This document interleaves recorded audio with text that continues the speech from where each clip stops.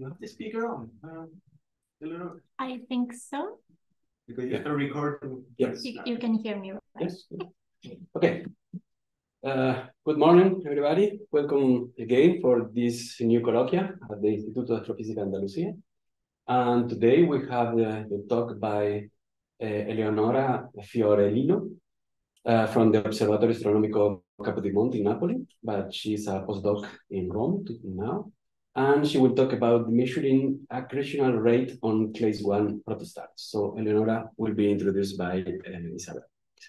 Hello, good morning, everybody. Thank you very much for coming again to a new Severo Ochoa colloquium. Um, so thanks a lot. And first of all, thanks, to our speaker today, uh, Dr. Eleonora Fiorellino. Thank you very much for having accepted our, our invitation to, to this program from the Severo Ochoa Excellence Award at the IAA.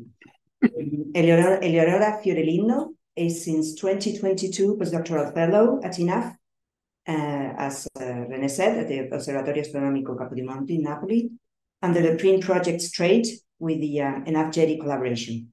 She was born in Rome and she studied at the Università degli Studi di Roma, La Sapienza, uh, and graduating for the bachelor in physics in 2014 and the master in physics and astrophysics in, in 2017. She won a scholarship at the Rome PhD program in astronomy, astrophysics, and space science, hosted by the Star Formation Group of the INAF Istituto di Astrofisica Planetologia Spaziali and INAF Osservatorio Astronomico di Rome. During her PhD, she obtained an ESO, ESO study, studentship in, in Garching. Uh, she defended her PhD thesis um, during COVID, so that's extra points, I guess. The 23rd of December 2020. So a precious uh, Christmas uh, present for myself, I guess, uh, about star formation um, from the pre-stellar cores to the accretion of young stellar objects. She worked at uh, Konkoly Observatory in Hungary until 2022 under the ERC funded position Sacred. And since her PhD, she studies how stars and planets form. And today she will talk about the evolution of accretion processes, as, as you know, so uh, thank you very much, uh, uh, Eleonora Fiorellino, and the floor is yours. Thank you. Thanks a lot. Um, actually, thanks for inviting me. I hope you will enjoy uh, this colloquium. So, uh, as been said before, uh, I'm going to talk about how to measure the accretion rate, and I will focus on a particular stage, the class one stage. in order to justify this, let me do some not working. Amazing. Okay. Okay. Okay, let me do some introduction. Um, uh, I'm sorry for the expert, maybe this is boring, but uh, it is what it is. So I'm going to focus on low mass stars. Uh, let's define what we mean by low. Uh, everything smaller, well, less massive than two solar masses. Um, at the very beginning, um, we uh, are interested in the so-called stellar phase. So at this stage, the objects that we study uh, are just made of gas and dust. So there is no star here. Um, and the SED um, um, distribution looks like that. So we can study that in the submillimeter. Uh, this is important. This stage is important because according to the uh, current star formation mm -hmm. scenario, when these objects um, are enough self-gravitating, they can collapse. They can collapse, producing actual um, protostars. And um, the uh, what we mean by the protostellar phase is actually class zero and class one uh, objects. Uh, during this stage, there is a forming star where the hydrogen burning is not there in, uh, at all, still there is gas and dust with a certain temperature. But everything is surrounded by a dusty envelope and circumstellar disk. At the class zero stage, the envelope is so thick that we cannot see through it. So we cannot see either the um, photosphere of the forming object or the disk. And then by the time this envelope dissipates, and during the class ones, we start seeing both the circumstellar disk and some contribution also of the forming star. However, uh, the situation is still a lot complicated, as you can see from the SED. And it's only uh, during the pre-main sequence stars composed by the class two and the class three, then the envelope basically is all dissipated and you can study in detail the circumstellar disk and also the photosphere of the forming star. Um, the, the class three is defined as the very last stage uh, where the deuterium burn, uh, uh, burning um, occurs into the star right before uh, the main sequence, the main sequence uh, stage. Okay, so um, this scenario that I just described um, is very not efficiency. Uh, if we um, um, study how much material there is during the pre-stellar phase, and then we compare it with the uh, mass that we observe in mid-sequence phase, we've got this number. So uh, 0.2 or 0.4. There are several ways but to do this. I will show you just um, this plot just to give you an idea on how this uh, is computed. So in the black, you can see the initial mass function, so the statistical mass distribution of main sequence stars. And in the um, blue, the uh, core mass function, the statistical mass distribution of pre-stellar cores. This is an example for certain star forming region, but you can see there list um, a lot of similar studies. And uh, in all the cases, what we get is that uh, during the star formation process, more than half of the stellar core masses do not contribute to the main sequence stars. So um, the, the key message here is that um, the star formation, uh, like core collapse, is not efficient uh, and is not efficient mode to form star, and is also uh, like not by only this that the stars gain all their mass. So the question came naturally, how how stars collect their mass? What what what's happened during the, the, the, the stages that I listed before? Um, there are several theories, and for the moment, uh, the, the ones that we like like the most, um, because it's more or less working, is the magnetospheric accretion scenario. So according to this scenario, from the, the material from the envelope arrives into the um, circumstellar disk. It arrives on the outer part of the circumstellar disk, and then it reaches the inner part. There are um, questions marks here because we, we at the moment we don't know what is the physical mechanism that drives this um, migration of the material from the outer part to the inner part. The point is that uh, when the, um, the gas and dust is in the inner part of the disk, it um, encounters the uh, magnetic field lines of the forming object, and by following them, it shocks into the central object, um, accreting its mass. Now, all of this is, um, is happening uh, while the star is rotating. And uh, as you know, uh, in order to uh, conserve the angular momentum, if something is treating the uh, young stellar object, so as has decomposition of both the forming star, the disk, and the envelope, something should uh, mm, get uh, should be ejected as well. And there are some indeed winds and jets. um, but uh, the point is that all of this is happening at uh, scales of about the astronomical units. And it's very challenging to see it this directly from imaging and even from interferometry. Now with ALMA, we're starting doing something with very close objects, but in general, if you want a physical approach, uh, you need to use different techniques. And uh, spectroscopy is is the, the, the most useful technique for these things. This is why we, we love it so much. Um, okay, so if you got question for the moment, and don't mind being interrupted, okay. If everything is fine, just go ahead. I need to define some parameters. The first one is the veiling uh, I will talk about it, and it is defined as the ratio between the um, infrared flux and the uh, flux of the um, stellar object. And it, uh, it defines how much veiled is the forming star because of all the accretion properties of the young stellar object. And then we do have the uh, mass accretion rate So literally how much mass is accreting per year onto the forming star.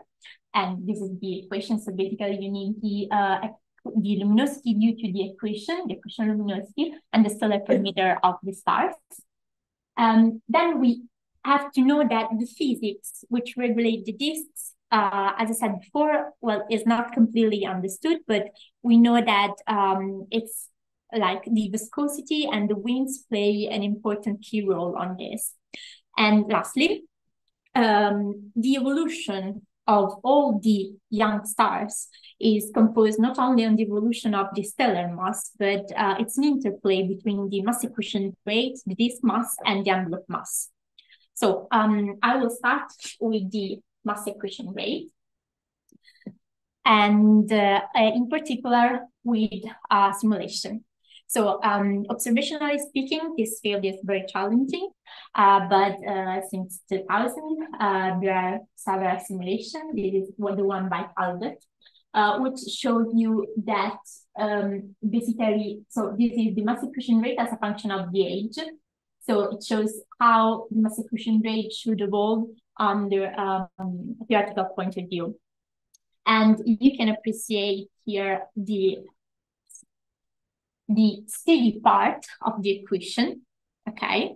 So um, this, uh, this region here, and there are several works, and um, in particular, uh, the, recent uh, 57 chapter by Manara 2023 and Pineda 2023 that describes this, um, this mass accretion a lot.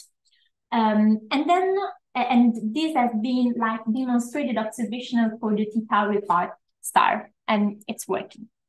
Um, then we do have also the so-called errative accretion. Here you can see some bursts that deviates from the steady part, and uh, uh, objects as EXors and Fuori bursts um, are the like classical objects that experience uh, this strong, really strong um, eruptive accretion due to probably the instability of the disk. Um, again, if you are interested in this, there is a lot of literature here. Um, okay, now we will focus our attention on the accretion in class one and class two. Okay, why is like that? Because for the moment, we are able to uh, determine the mass accretion rate of only for these two stages. As I said before, the uh, class three, there basically there is no accretion anymore. Um, it's just a, really short phase when the system is preparing to do the hydrogen burning. And about the class zero stage, so the previous one, um, it's so embedded that we cannot see the, the photosphere. So um, for the class two, everything is well known. Um, in here, you can see, I mean, I just point here all the um, papers that, that investigate the search, and you can see that there is a lot of literature. And I also wanted to show you this plot with so many, so many regions where we do this, we've done this kind of analysis. Here you can see the mass accretion rate as a function of the stellar mass. And you can see that different regions more or less show the same behavior with a lot of spread. And if you've got questions about the spread, you, you can ask me. Um, but then there is not only the uh, the study of the mass accretion rate as a function of the stellar mass, there is also the study of the mass accretion rate as a function of this mass. And you, you, you can see that there is a relationship again uh, also with these uh, two quantities, which makes sense, right? Because according to the scenario that we built, there is some material from the envelope arriving to the disk, but then it's from the disk, then it impacts uh, on the on the forming star. So we we could expect that the more massive it is disk, and the more material could accrete onto the forming star. Um, and then there is okay the, the question why is like that what is the physical mechanism that that uh, explain, describe uh, the, this scenario? We do have data for the class two sources. Yeah, the problem is that the data are in agreement with uh, all the models that we, we got. In particular, you, here you can see the viscous model trend. Here, different colors relate to different regions, uh, depending on their age, and also uh, the MHD winds prediction and the uh, dust of uh, forming planets.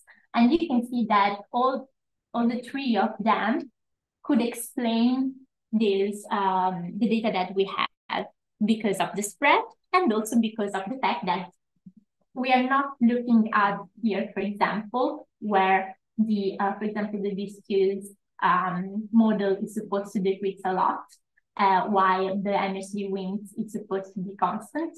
And we, we also don't only have one region uh, with very cold, okay? For us, very cold is like more than five mega years.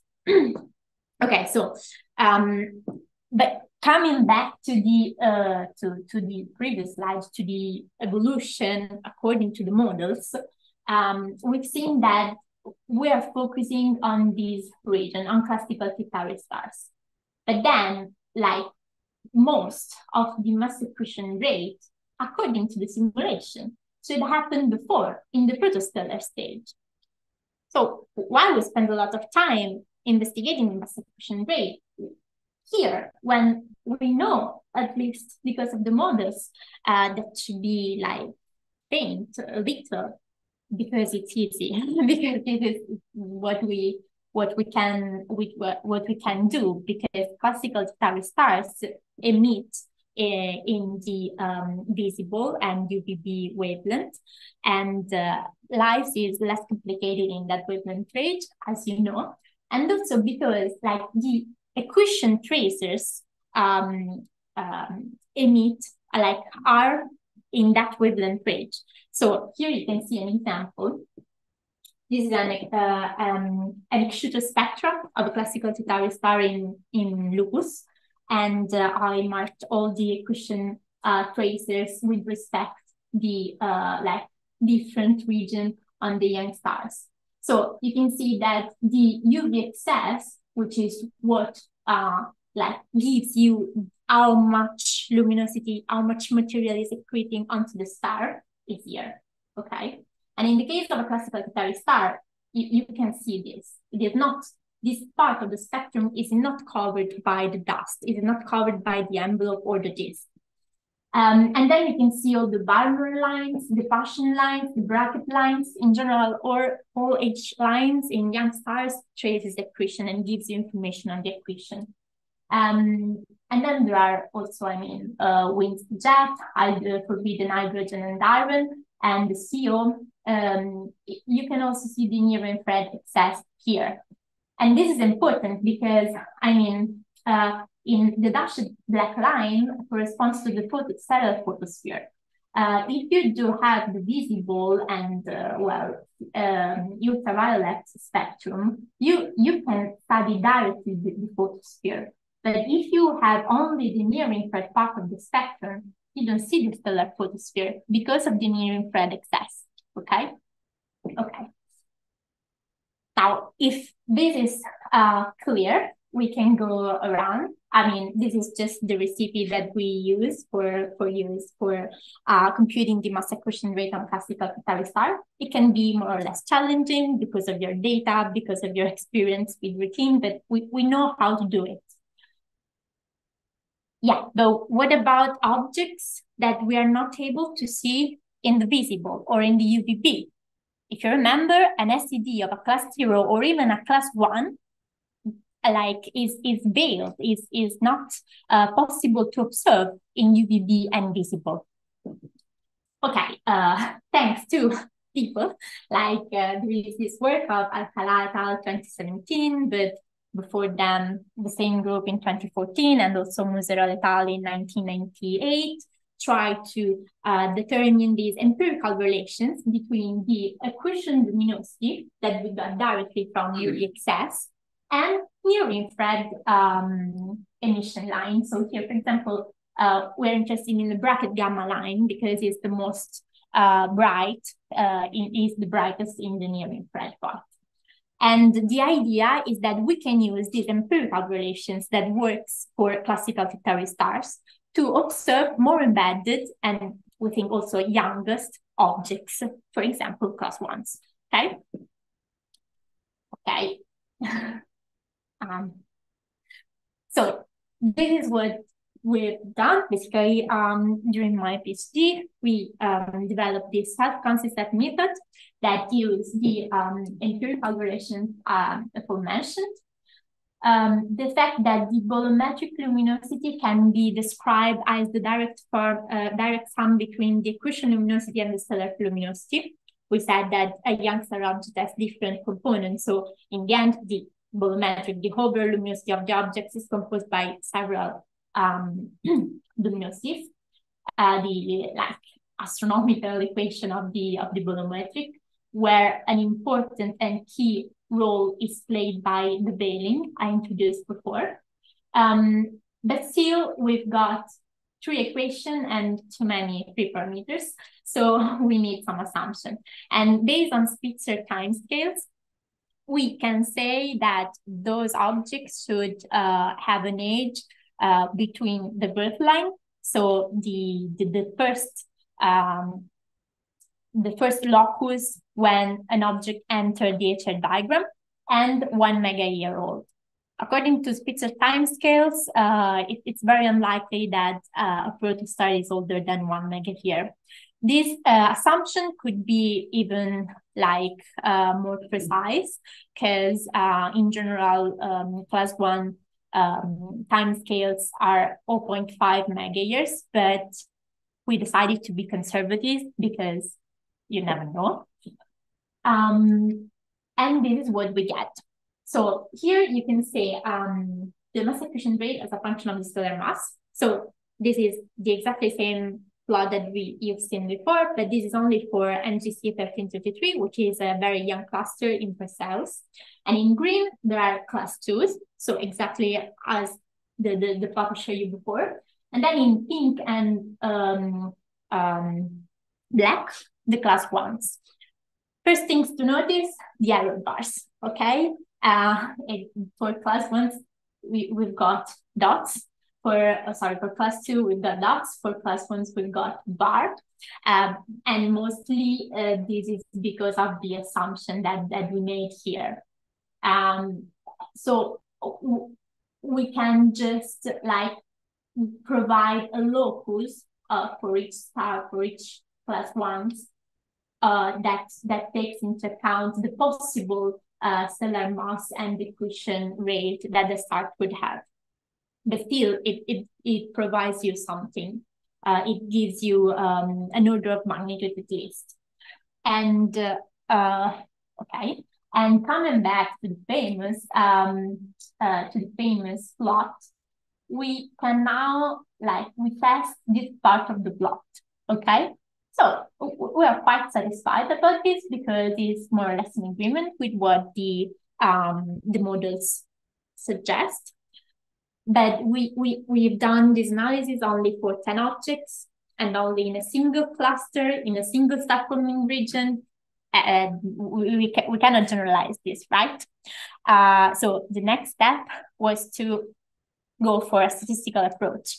And uh, um, we selected 50 objects out of um, 110 known class ones for which it was possible to measure the veiling and to apply the self-consistent method I described before. And uh, this is what we get. So here you can see the accretion luminosity as a function of the stellar luminosity. So this is different for, from what we've seen before, but it's however interesting because um, it tells you basically that those are class two, and then here colored um, um, objects are different class one sample um, with different veiling, and the trend is the same for the less veiled sources, so the pink and red ones. But then if you uh, study the more veiled sources, so the, the most obscured by the envelope, they deviate a little from the from the general trend you can see here.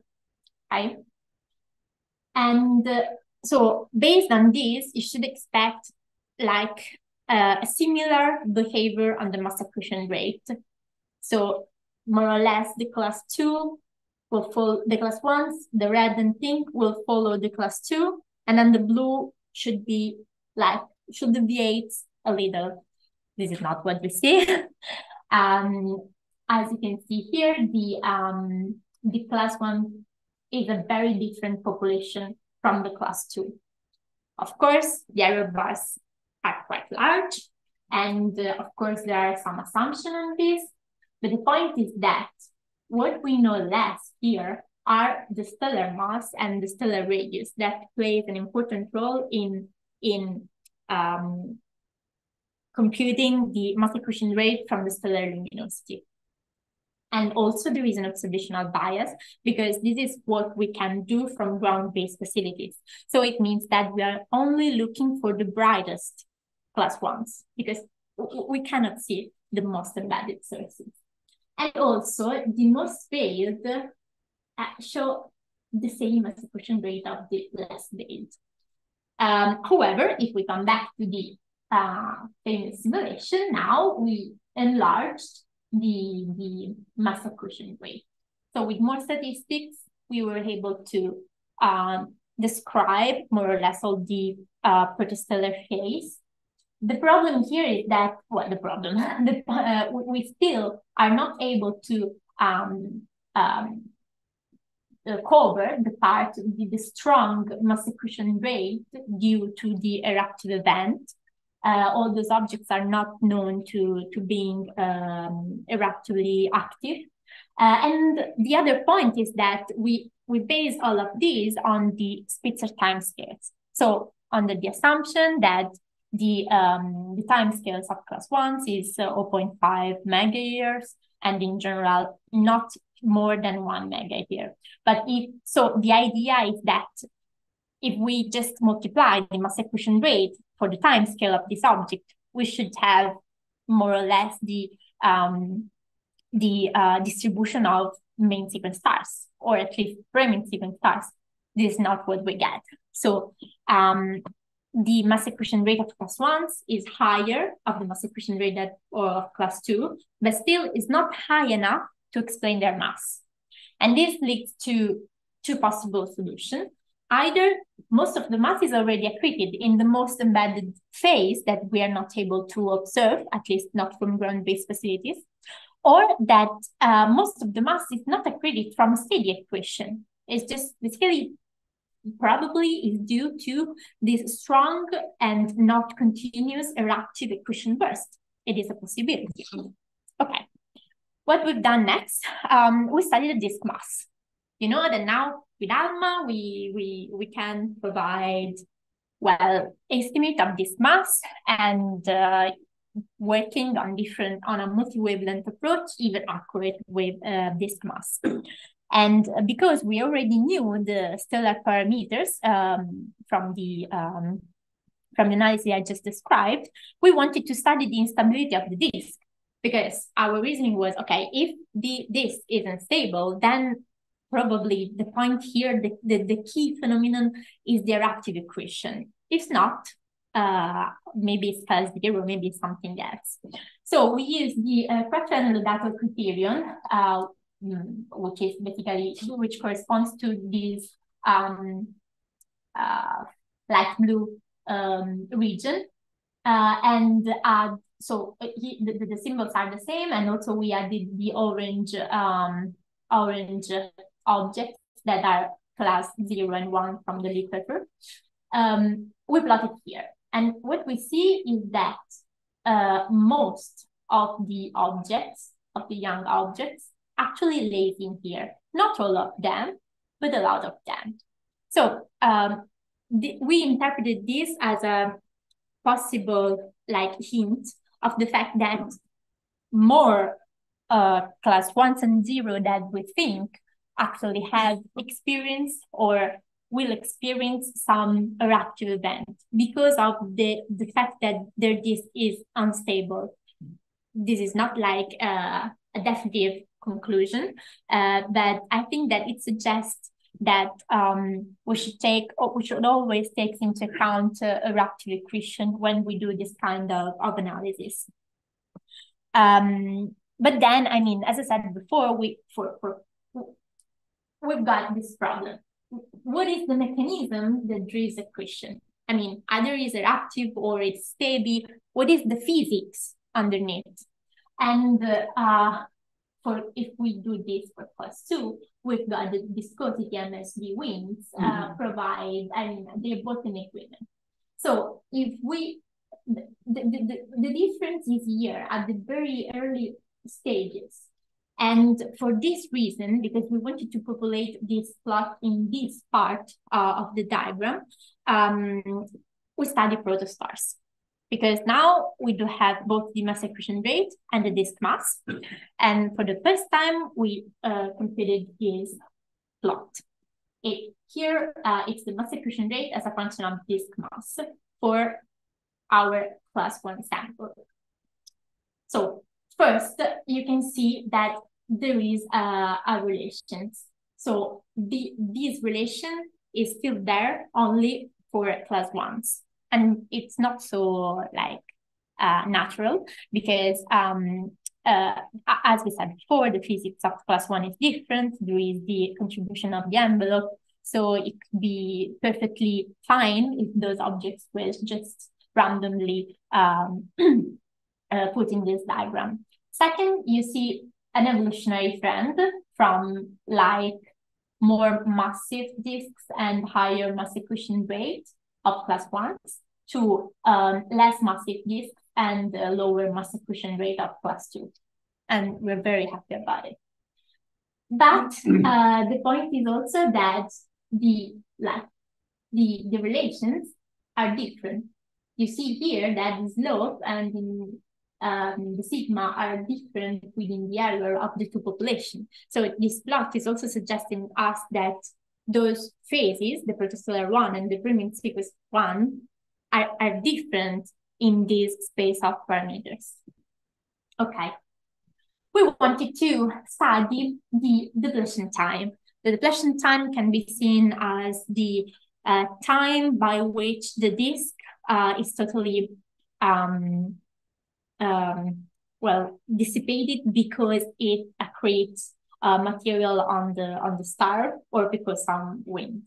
But the ratio between the ejection material and the accreted material is about 100. So we can say that most of the material is, is going to accrete on the on the central object. And uh, I highlight here this for guys because they do have extremely short depletion time, like shorter than 10 to the 4 years. It, this, this is very short, right? Because if the time scales of these objects are 10, 10 to the 4, how, how they can be like shorter than that? Um, we don't know. We, we studied a lot of these objects. We have no idea. Uh, there are some things that we can take into account, like the uncertainties I told you before, and also the fact that we can improve our mass, the disk mass estimate, but these objects are not like brown dwarf or or eruptive stars or strange guys. They're normal class ones objects. So we've done this. we, we, we tried this exercise we just remove those objects from the from from the sample for a moment and we try again to to fit data. And now magic the the fit of the sample without this low disk mass guys is in agreement with class two this is telling us that we should investigate more the low disk class ones population um, again, we um, we've done this kind of analysis. Uh, we plot overplotted isochrons. Isochrons are defined by Lodato 2017 as the locus uh, where uh, mm, well class two evolves. So the point is that thanks to isochrons, you can get the initial conditions of the disk and mass accretion rate. And this is very important because um, basically the initial condition for class two are class ones and the initial condition for class ones are class zero. So if you do this, uh, you can get the initial condition for star and planet formation because the literature uh, is telling us that planet formation occurs during the protostellar phase. The problem is that isochrones are optimized for classical T stars. So they don't take into account the, the fact that the envelope is, is foiling the disk. Because as I said before, at the class two stage, there is no envelope that fits the disk, right? However, if we just forget about this, um, uh, we say that there is no light trend, okay? The one um, objects are randomly point on different isochrons with different initial conditions. And why is like that? I don't know. But my uh, uh, opinion is that we are looking to um, sample composed by objects in multiple star um, uh, star forming regions. So we're not looking at just uh, a single star forming region. We're looking at uh, everything which is inside, which is within 500 parsec, and we're trying to do the best that we can. Uh, but, but we're missing information on the environment, and we know that the environment can affect a lot the initial conditions. So I, I want to stress that we need complete samples of the same saffron region for both protostars and class two. So when you review for example, is a proposal takes this into account, that it's very, very important for this kind of, of studies. Um, okay, okay, finally, finally, we wanted to test the, um, the models. So MHD or MHD winds. So is it the winds that take the material from the outer part of the disk and drive it on the inner part is, is because of the winds that we that we see this accretion going on, or is because the viscosity of the disk, or it's because basically both of them, and this is like the hybrid model. Okay, this is th those are the lines, and okay, what is your conclusion looking at this plot? Say something. And it, exactly. yeah, I agree with you. um, people try to convince me that the hybrid uh, hybrid model will better fit like the evolution from class one to class two. Then then you still have the low disk class ones that are not in this uh, framework. And uh, like me, this is telling us that nothing is working. But I'm not surprised by this because, as I said before, these models are set for classical T stars, and we're looking at different stars. So why we're using those models? Because those are the only models that are available for the moment. So another thing that we'll need is people that build models that describe this different stellar phase. So if you know this topic, if you know people that know this topic, please try to convince them that we need models to compare our data. We are at the same that stage for which we've got more observation that data that can describe it. Okay, let's move to the envelope. I will go quicker on this. Um, the point here is that um, some theoretical works um, suggest that all I talk about is not really the key point because most of the material accretes directly from the envelope. I mean, I don't know if it's like that, but the, the, the problem here, and this is something that we share in common with people that do high mass formation, that maybe there is a mechanism that we don't know that is able to like um, accrete material directly from the envelope this is something that we are not observing. Maybe it's an observational bias, but, but what we are actually observing is material coming from the envelope to the disk. And thanks to ALMA, there are a lot of uh, estimates of this. There are a lot of works. There is actually a review that, that tells you um, how much work is doing in, in this direction. The problem is still still is that numbers don't don't fix the problem. Uh, mass accretion rate is still too low, and uh, and also the uncertainties on the mass inflow rate, so how much material came from the envelope to the disk, is even higher than the uncertainty that I got from the mass accretion rate. So there is a lot of work to do. Um, but the question still remains. Is the class zero the stage in which the mass is already set? We, we don't know the answer to, to this question.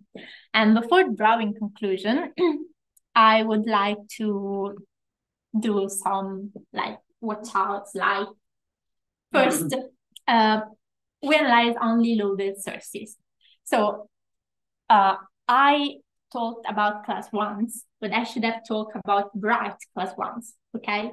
Something that is still missing here is dim class ones that we cannot observe at the moment from ground-based facility. Um, what we need is a complete sample of single star of a single forming region. I would get on for one to start uh, to to see also the environmental um, framework and uh, to being able to draw robust conclusion on this topic and to set initial conditions, at least for one from star forming region. And then we, I mean, we've done this only for single stars, but we know that more than half of the uh, main sequence stars are in binary system, and that can be true also for protostars and pre-main sequence stars. So we should also take into account the multiplicity of the systems. Here's a list of the most recent and um, interesting works that that works that claims this topic. Um, there is also there are also outflows. Uh, I, I only have 45 minutes, so I haven't focused on outflows, but um, it's, this can be very important to study those objects that are embedded. So we cannot study the material directly creating, but since we, we see some outflow, we know that the, that object is accreting because of the outflow, because of the um, conservation of the angular momentum. And uh, uh, ah, this is amazing. Uh, there is also variability problem. What we have done uh, is just to make um, a picture, a screenshot of what's happening in a single precise moment.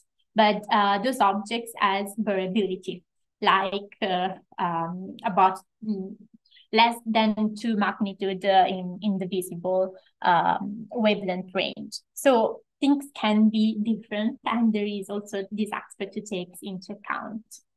And lastly, this is only for low mass stars. We know that there are erbics and there are also high massive stars, uh, more massive stars. So um, we are far away, unfortunately, to uh, draw the like star formation scenario, which is good because it means that there is some work for us to do.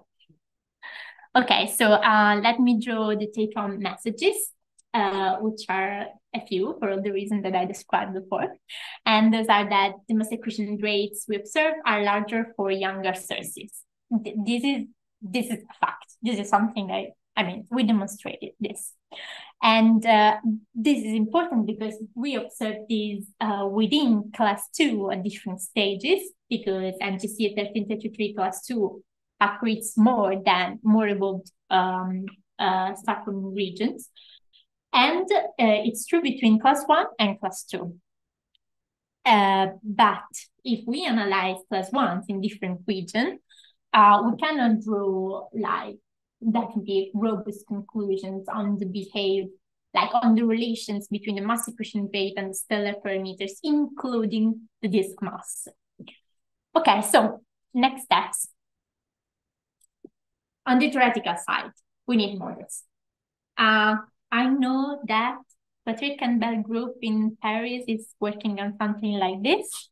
And uh, maybe in the future there will be some some uh, like improvement on this. Uh, I've been told that uh, is like uh, a numerical problem because the integration time that you need to follow the behavior of a star or population of a star from the core collapse to the cluster stage is it's a lot, uh, but uh, mm. there is room for improvement on this side. On the observational side, we can do a lot of things. I mean, I know that we can do a lot of things because this is my um, uh, like field of expertise. Again, we need uniform samples. Um, we need to further investigate the low disk mass regime to see what's going on, to see if the difference in the relation that uh, corresponds to a completely different population for class one is just like due for due to some of layers or it's a fact. And in order to do this, we have to do two things. Increase the number of observed objects and like focus our attention on low disk mass. Luckily, we managed to get some data. So we're working on this. Stay tuned because uh, we will be able to see what is, what is the output, I hope soon. Um, also, we need to investigate more embedded objects, more embedded class ones and more embedded uh, like class zero. How to do this? Uh, for the moment, we're using only the Brackett gamma lines, but there are also other H1 lines. And uh, the idea is to get empirical relations also for the other H1 lines in the uh, near infrared. We're working on doing this with the PENELLOPE dataset. Because as you can see here, um, like oh, the Brackett series is something that we we actually observe. And we observe this not only for class like normal classical class one and class two, but also for EXors, for FUors, for eruptive objects. So um, investigating these these lines that are usually like forgot, uh, it's very important. Okay. And um, also taking into account always eruptive accretion is, is always important. But there are, however, objects that continues to be dim in the near infrared part. And what we can, what you can do, move toward longer wavelengths, move to the mid infrared um, part of the spectrum. Uh, there are some attempts of finding relations on the mid infrared H1 lines. This is a work by Elisabetta Rigliaco 2015 and Komarov and Fischer 2020. As you can see here, the error bars are very large, right? So, I mean, you can fit this wherever you want. And here the problem of this work is that the uh, flux calibration was not contemporary. So there is a, a problem in the variability. So of course there are like good good works because you have to start somewhere, right? But uh, due to the uh, low uncertainties on this relationship, we cannot use this for the moment to do the same analysis that we've done with Brackett gamma. So uh, Alessio Caratti is the PI of an ARIES GTO that we have at INAF. And the idea was that ARIES would observe contemporary to JWST MIRI, a sample of class two to get these empirical relations. This is size was successfully only partially because as you know, MIRI had some problems. So a lot of targets, unfortunately, were not observed at the same time. So we're working on this, but we are not sure that we will be able to provide these empirical relations. Uh, we will do our best. Um, lastly, uh, for doing this, we need new facilities. And I already mentioned uh, MIRI JWST, which is already working. So good, very, very good. Um, but there is also another instrument that is very important for this kind of science, and is ELT METIS. So also ARIES observing the mid-infrared, amazing, but well, it's it's not enough for the science that we can that we would like to do.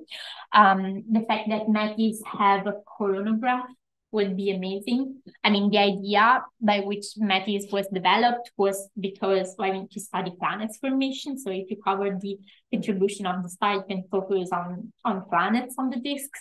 But this is also important um, if you need to identify like uh, the contribution of the envelope or the disk. So the idea is to work on two like phases, study the envelope, the disk, and then put on also the contribution of the star. And in this way, we will get only the contribution of the star. So the idea is to use the coronagraph like two times uh, to get information on the star. And uh, yeah, I mean, this is like the next step, uh, like general conclusive slide. I thanks you, thanks a lot for your attention, and I welcome any question.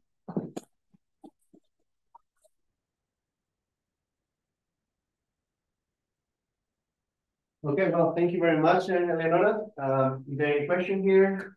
Mayra?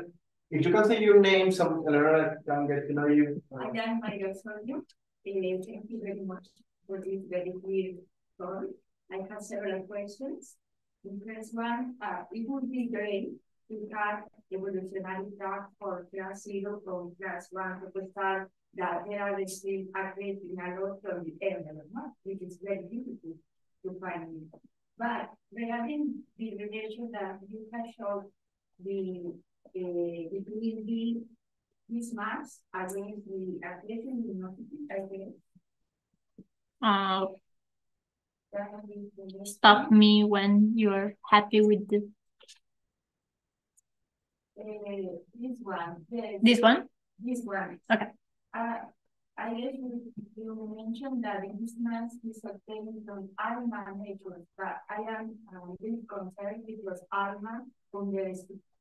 Many people underestimate mass because they assume that this is optically thick, that the temperature is constant. Can you address this problem? Um, Yeah, yeah. Yeah. Uh, okay, so um those observations, so those estimates of the disk mass were based on band, band six, ALMA band six. And uh, so if you use like the Ansdell uh, model to do this, you basically either set the temperature or change the temperature, but however, you assume that the object is optically thin. And we don't know if this is true for class ones, and it could be not true. It's also true that um, by setting the temperature, like I think it's uh, 20 Kelvin, like those objects are supposed to be um, uh, colder.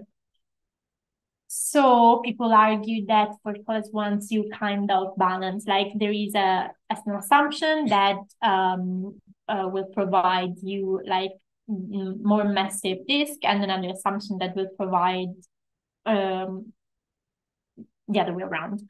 Uh, so uh, we argued this. We were not convinced about this, of course, but the point is that uh, we've done two things. First, we asked for three. And uh, also uh, for most of these objects, there is also um, uh, a VLT observation, VLTI observation. So what we're working uh, for the Ophiuchus sample for the low disk mass and contemporary for those objects for which we managed to have band 3 and VLTA is to compute the spectral index in order to know if it's optically thin or thick, and then use the method as a consequence, like if they're optically thin or if they're optically thick. Okay. Okay. Um, but this is not what we've done here. And the, the reason why we- didn't have done here is, well, it's, there are two reasons. First, we we didn't have the enough data for all the sample. And the second was that we wanted to like, uh, just uh, like to compare exact, like to use the same method used for class two for class ones. So here I put like this mass, but, but this is more or less like the flux, the alpha flux in band seven per a certain coefficient, which is the same for class two and class one. So like in the letter, we like discuss these as um like the relation between the mass diffusion rate and the and the flux of the ALMA band six. Also to convince people that that that this is not a good way to to discuss estimate. Uh, but it, it's very challenging. But yeah.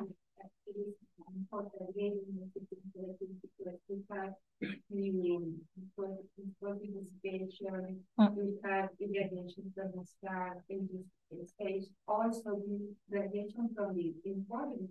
Yeah, maybe that that's more more important than the, the the radiation from the star at this stage. Um, what we are trying to do, so we discussed this at the Code to Do This conference. I don't know if some of you were there. Um, the problem is that like getting time with Alma it's very difficult. Uh, but and also, I mean, if, if you ask for this, people tells you, yeah, but you already have this guesstimate, so why you need further bands? And and that's that's that's something uh, stressful. Mm-hmm. Uh, I don't know. I, I honestly think that it's easier to go for a large project with Alma, honestly. Uh, so I don't know if you're interested in doing this, we can work together uh, because I, I keep not only me, I mean all the people that I know, I keep keep uh, asking for um, different bands in a single region, and we're not successful. there any other questions here in the room? You have a few, right? Do you want to make another one? Yeah, please go ahead.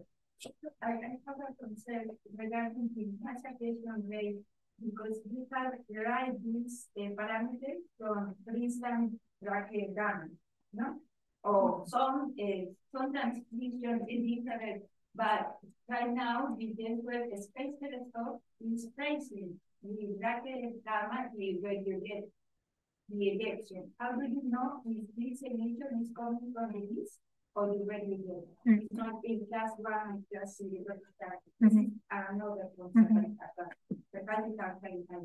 So for this sample, we we checked because we've got like for NGC 1333, we've got IFU observation. There were no jets. so I mean, there is no jet.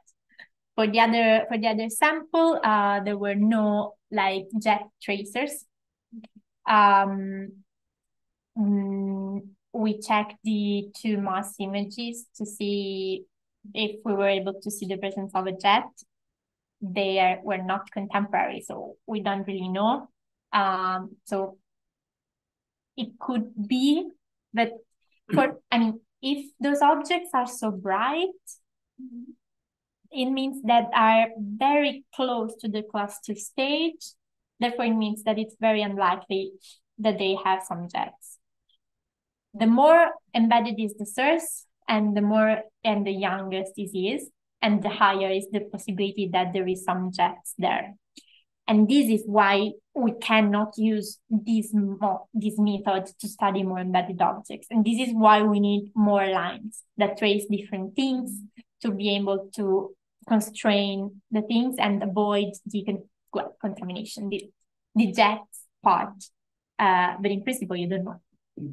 But only, I mean, I would only to stress the fact that, I mean, we use these relations based on the Brackett gamma as a constraint. But if you if you use only the Brackett gamma, then you you you are not able to estimate this because you have so many uh, free parameters. So um, you cannot just use empirical relations if you've got your flux calibrated Brackett gamma, and this is not going to work. Mm -hmm. I, I know because I mean people are starting doing this on papers and this Again, Yes, now I must ask the streamers from in the East. And well, suggested a command or a President talk. This was what fits into in the world. So you can estimate the well, it's on error, it's on but you can estimate the rate of involvement from Mando. Mm -hmm. Yeah. yeah. Yeah, yeah. So uh, this is something that I personally haven't done, but the, so those people have done it, and and I think it's I mean it's key because um so I'm I focus my work on the mass accretion rate, and this is not enough. We need more material.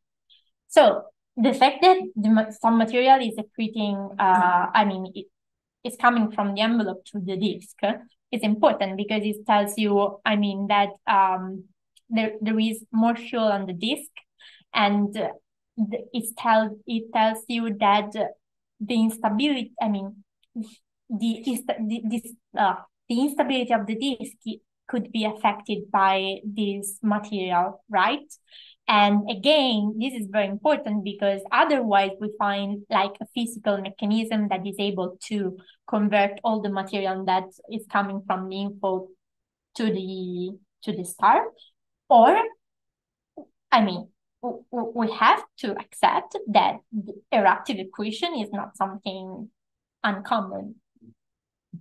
Uh, and, and, and, and people are not convinced about, about it, but I, I don't know. We have to demonstrate this. Uh, also, I mean, they find stream, also, they find streamers, they found streamers on class two. And, and this is weird because I mean, I mean, we, all the, all the paradigm that we built, uh, uh, um, says that the envelope is dissipated on class two, and we can forget about envelope on class two. But this is not what ALMA is telling us. Of course, we need statistics, but uh, this is interesting because uh, like if there is still envelope accreting the disk on class two stage, this, I mean, at least says two things. First, that the models that we are using are completely wrong and they don't even describe the class 2 evolution. And second, that class 2 and class 1 are more alike than we think because this mechanism is still going on also on the classical T Tauri stage. That's very interesting. Sorry?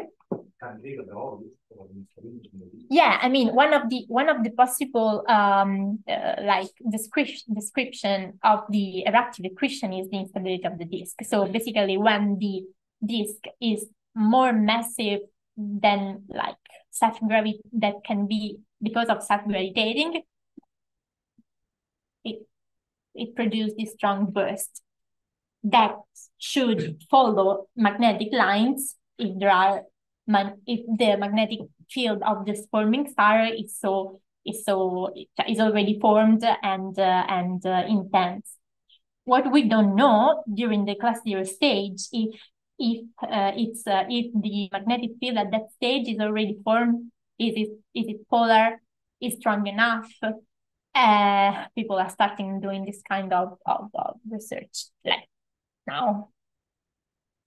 Okay, perhaps we can close the beginning. I am Guillermo Anglada. Uh, thank you for the for the call. It was very very clear. So I, I have a comment. You you you say that, that that the key of everything seems to be to work on the same star forming region.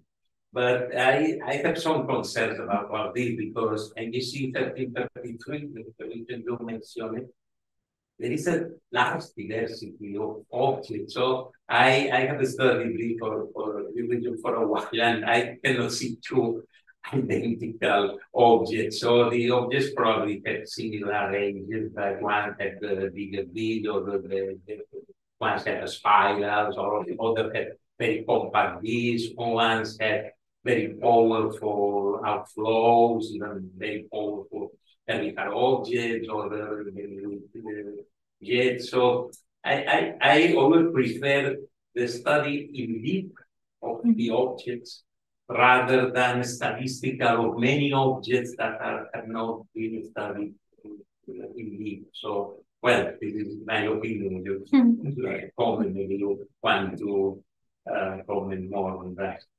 Uh, so it's just based on my personal experience. Like during my PhD, I work with very different groups. Um, one both based in Rome. One was focused on, on a statistical approach with actual data and like cover all the galaxy and and and do these things on large scale. What large scale? Like first Gould Belt, but large numbers. Um, saying that going and studying little objects didn't give you information on the general picture. And then I work with uh, another group, uh, led by Brunella that, that does what you're saying, take an object and study everything of the stellar parameters, detail, mass accretion rate, outflow, every tracer, every a multi-wavelength approach and that. And it says that in this way, we can establish something. Otherwise, if we go for a statistical approach, we're losing information. I personally think that, I mean, why we do science? Because we've got a question and we want to answer that question. So if the question is what's going on in that star, we go and look the star. If our if the question is what is the physical mechanism that drives material coming from the outer part to the inner part? I mean, we, we have to go for a statistical approach. It's not like the one is better than another one. Everything depends, depends on your scientific question. So what is your scientific question? You said it and you like compute all the yeah, like your observational program proposal and everything. I, I personally don't like when, when in a proposal they say, yeah, by studying this first, I want to answer this fundamental question of the physics. You, you can this is not this is I, you cannot say this by only studying one object. But if you say this object is strange, because it's doing something that we don't understand. So I want to observe it. Uh, yeah, yeah, of course you you should got the data. So it depends on. I personally think that it depends on your scientific question. I disagree with the sentence you, you say because, in my opinion, if you want to do physics, you have to do physics. Other, otherwise, you are doing statistics, you are doing mathematics which is different. So my point is that if you want to understand the, the physics, you, you have to study you and several objects in it. So you know the mechanisms that are working on. And then once you know the mechanisms, or when you know how to calculate the mass of the disk, when you know how to estimate the age of the object, or, or when you know this, how to do this, then you can do this for a large sample and then to draw additional information on the statistical properties. But what I am emphasizing always, all that also, is to reverse the project, the, pro the problem, no? You, you have to do the statistic later, not the statistic 1st mm -hmm. with, for example, full calculation of the mass of the disk, because you you you got some uh, strange results sometimes. I, I remember a couple of years ago I was talking with, with Pedro. He told me, well, we are doing something wrong because we, we see that the, the M dwarf stars, the mass of the planets is larger than the mass of the disk of the object. But no, you are not doing things wrong. It's the people that is calculating the mass of the disk, assuming that the emission is optical is doing something wrong. So you better last this. Most of the emission is but the might you obtain is 90% correct. But if you have an M dwarf star, for example, where the reads are smaller, the central region is denser, and you make a big error, assuming, for example, that the emission is optical. Yeah, but... and, and this can then give contradiction. Okay, so it's mm -hmm. maybe a philosophical approach, but uh, I, I I think there is a problem here in in in, in some cases. Yeah, yeah, and I mean, as, as long as you describe what have you done and people can reproduce what you're doing, I think it's fine. You're doing science. The problem is that when you publish a paper and and people don't have access to the data and cannot reproduce and just have to trust you, that that's a problem, right? I don't feel we're fair. Uh, we, we, we do the best that we can with the data that we have in the end. Okay, I think we have to close that. I think it's a very nice discussion, philosophical discussion, but I think we need to leave it here. Um, I'm very discuss after one object versus a systematic uh, uh, approach. And think this is something I don't think we're going to have find the answer here. But before we close, two announcements. First, we're going for lunch now, so whoever wants to join, join us. We're going to groups, places, and place around the corner. And the second announcement is that uh, Eleonora will be here today and tomorrow. And tomorrow I have organized a session because Eleonora, for a great scientist, she's also very active in the gender equality community. And tomorrow I have asked her kindly, she has accepted that she tell us very informally what she does, what she has been involved, because I